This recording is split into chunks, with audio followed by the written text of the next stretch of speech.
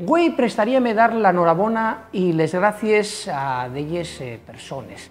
Norabona a los nuestros eh, dirigentes políticos non só os dan guaño, sino dende que evo la restauración borbónica despois de la dictadura fascista, en Asturias, evo una serie de dirigentes ya dende los años eh, 76, 77, 78, fastan guaño. Dai la norabona pol labor eh, que fixeron per Asturias e vamos a entamar eh, facelo escalonadamente. Dar la norabona a esa xente que cuando se estaban pensando los estatutos de autonomía en el Estado español, tomaron la decisión de que Asturias fora el primer estatuto de autonomía que non se rixera como nacionalidad histórica. Eso implicó muchísimas cosas que estamos eh, pagando las consecuencias anguaño, porque esas comunidades históricas eh, agarraron una serie de derechos, pero non son solo les mítiques, eh, Galicia, Euskadi y Cataluña, sino que también son Canarias o son Andalucía.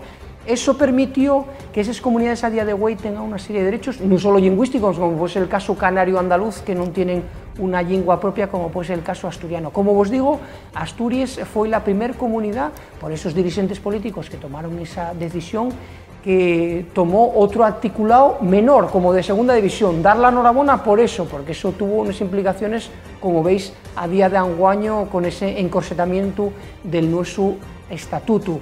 Después, a lo largo del tiempo, también dar la enhorabuena por las políticas económicas de Asturias.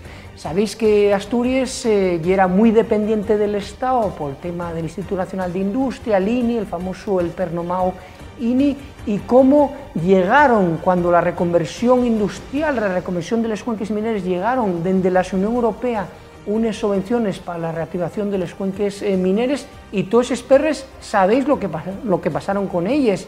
Todos esos perres pues eh, marafundiáronse, utilizáronse para hacer una montonera de museos que no se usen, pues dar la enhorabuena a esos dirigentes, pero non solo a nivel autonómico, sino tamén a nivel eh, municipal, como, por exemplo, les políticas, nos que tenemos tanto ciño por asturiano, les políticas lingüísticas, como hai que sempre estar detrás, Evo sempre que estar detrás de lo que son los dirigentes para una política lingüística que a día de hoy sigue sin ser.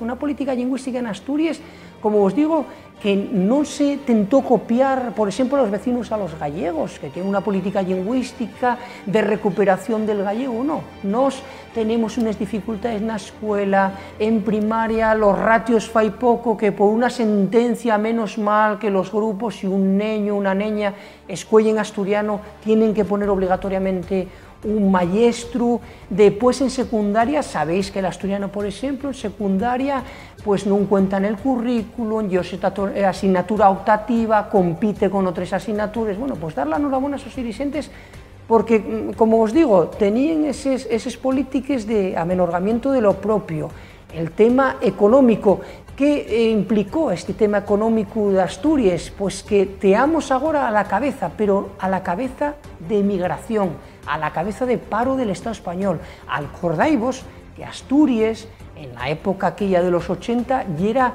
una de las primeras comunidades, estaban las míticas, Cataluña, Madrid, Nafarroa, Navarra, eh, Euskadi, Asturias, agora estamos de les penúltimes a nivel de Extremadura, a nivel de Andalucía. Es decir, la, la enhorabuena por eso, por ese labor que se viene haciendo, porque aparte, eh, en Asturias hay una obsesión en esas élites políticas, y falo de todos los partidos, con esa lealtad, vamos a ponerlo entre comines, esa lealtad institucional al Estado, porque no vamos a ser como nosotros, ni separtanos, ni ser, eh, pues eso, pues eh, nacionalistas, ni historias de esas Pero eso que nos permitió, pues dais cuenta, ¿sabéis cuál fue la última comunidad que tuvo la autovía arreglada, la autovía, toda esta autovía del noroeste que pasa de Oriente Occidente a Asturias? Pues fue Asturias y un cacho de Galicia en Mondoñedo.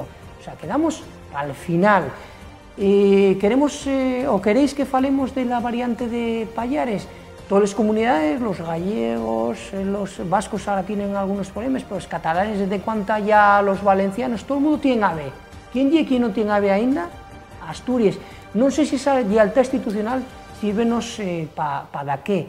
Y como os decía, dar la enhorabona a todos esos eh, políticos que sitúen Asturias en, un lugar yaceriante y que parecen pero orgullosos todos estos dirigentes, como vos digo, non falo dun partido concreto, sino de todos os, todos os partidos e de, de todas as instituciones, tanto a nivel autonómico, a nivel autonómico como a nivel municipal. Y decíamos que daba la enhorabona por cómo situaron Asturias y de, tenernos en la cabeza de las comunidades a ponernos una cola de las, de las comunidades con esos eh, también darles gracias al movimiento asturianista, darles gracias al movimiento asturianista por ese labor, o como se suele llamar, el ejército de Pancho Villa, que es decir, un movimiento asturianista que lle cainita en él, es decir, un movimiento asturianista que siempre lle desconfiado del que está allá.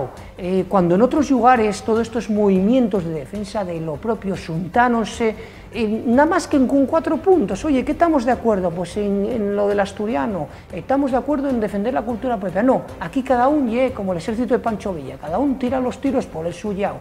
Y después, cuando hay iniciativas que tentan tirar palantre de determinadas cuestiones, no, siempre son críticas. Nunca hay, como decía aquel entrenador de fútbol tan pernomado del Barcelona, y todo negativo, nada positivo.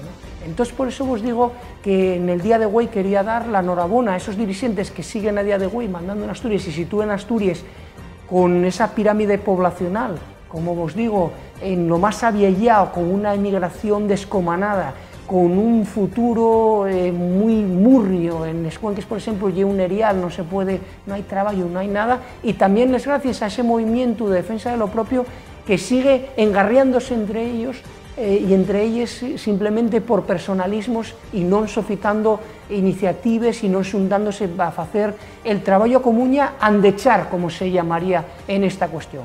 Esto ya el de Asturias. Entamamos.